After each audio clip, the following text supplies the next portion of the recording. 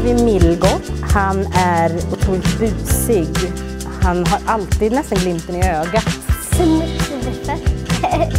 Det här är eh, Vilja.